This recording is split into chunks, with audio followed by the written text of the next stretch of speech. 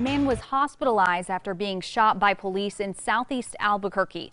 It started as a welfare check at a home on Edith, south of Coal, just after 1 this afternoon. When police showed up, an altercation broke out and at least one officer fired his gun.